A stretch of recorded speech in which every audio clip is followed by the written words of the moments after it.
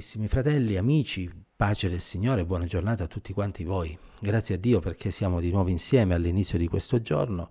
Sono le 7 del mattino e leggiamo stamattina il capitolo 22 del libro degli Atti, anzi eh, leggiamo dal verso 1 fino al verso 29. Serberemo il verso 30 per domani perché è introduttivo del capitolo oh, seguente, eh, capitolo che poi cominceremo a guardare domani mattina eh, Paolo mh, mm, ha chiesto di parlare al popolo e mm, gli viene concesso e così inizia il suo discorso. Un discorso mh, mm, molto semplice. Paolo racconta la sua testimonianza, quello che era prima di conoscere il Signore, quello che poi è diventato una volta che ha incontrato il Signore.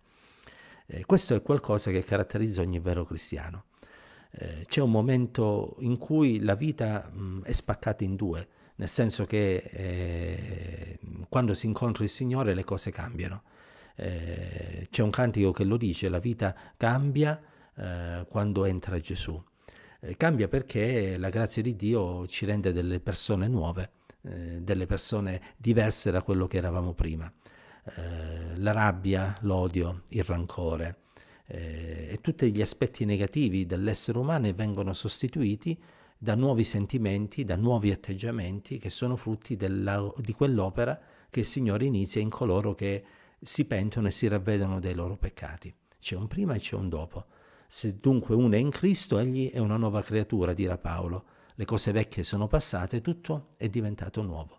E se Paolo prima infatti era un persecutore della Chiesa, dopo diventa un predicatore dell'Evangelo e viene perseguitato da coloro che eh, ancora non avevano conoscenza della grazia di Dio.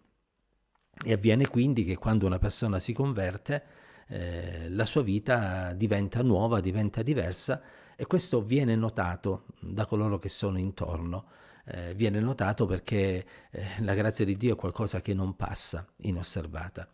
Testimonia dunque Paolo, testimonia della propria esperienza. Eh, quello a cui noi cristiani siamo chiamati è fare questo ancora oggi, testimoniare della nostra esperienza e raccontarla con franchezza, mm, perché non c'è da vergognarsi di essere cristiani, non c'è da vergognarsi di raccontare quello che il Signore ha fatto per noi, anzi dobbiamo essere grati a Dio se Egli ha fatto un'opera nella nostra vita. E forse chi ci sta davanti ha bisogno di sapere che Dio può cambiare ancora oggi le vite Forse chi ci sta davanti ha bisogno di sapere la nostra esperienza perché magari si trova in situazioni simili alle nostre e quella parola, quella testimonianza, per quanto semplice possa essere, potrebbe dare occasione a chi ci sta davanti di dare a sua volta una svolta alla propria vita. Non dobbiamo vergognarci assolutamente perché se gli uomini non si vergognano di raccontare storie, eh, delle volte non sempre edificanti, quanto più noi non ci dobbiamo vergognare di raccontare la più bella storia che ci sia, la storia di Gesù, il figlio di Dio, eh, la seconda persona della Trinità che si è fatto uomo e che ha affrontato la croce, la morte per la nostra salvezza. Dio ha tanto amato il mondo che ha dato il suo unigenito figlio affinché chiunque crede in lui non perisca ma abbia vita eterna. Se gli uomini non si vergognano e non hanno remore nel bestemmiare il nome di Dio, quanto più noi non dobbiamo avere né vergogna né remore di, nel glorificare il nome di Dio e nel dire che il Signore è grande, che il Signore è potente, perché magari chi è davanti a noi ha bisogno di saperlo perché sta vivendo una situazione talmente difficile che magari ha perso proprio la speranza o forse ha in cuore maturato l'idea di non farcela più e che quindi magari sarebbe meglio morire, forse ha bisogno di sapere che invece Dio può fare quello che all'uomo è impossibile e che può fare al di là di quello che noi domandiamo o pensiamo.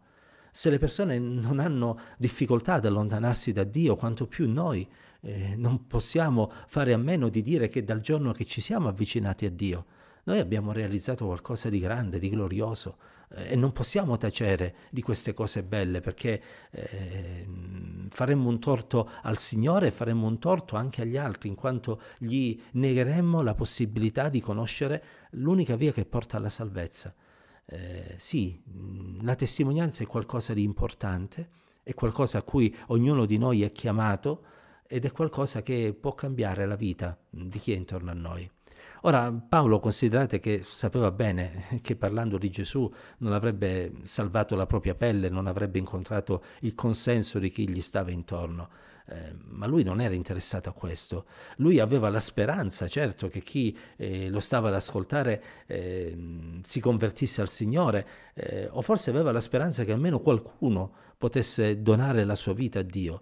E noi dobbiamo annunziare e testimoniare proprio con questa speranza che qualcuno, che magari tutti quelli che ci ascoltano, possono accettare la grazia nella loro vita e non dobbiamo preoccuparci di quelle che sono le conseguenze della nostra testimonianza, come Paolo non se ne preoccupò.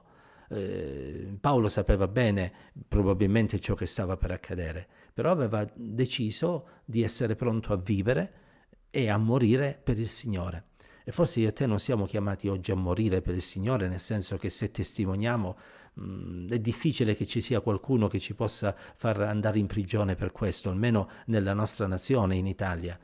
Però è anche vero che delle volte veniamo allontanati, magari delle volte veniamo oh, messi in disparte eh, perché siamo quelli che parlano di Dio. Che ci importa?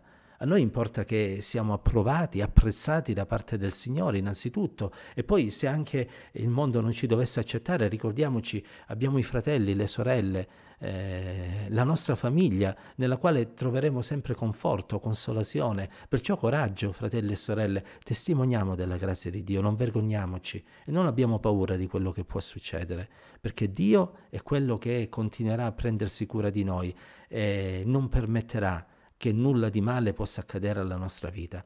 Oggi l'invito che voglio fare a me e a tutti quanti noi, chiediamo al Signore che ci dia occasione di testimoniare di Lui e preghiamo che quanti ascolteranno possano accettare la grazia di Dio nella loro vita. Pace del Signore, Dio ci benedica insieme.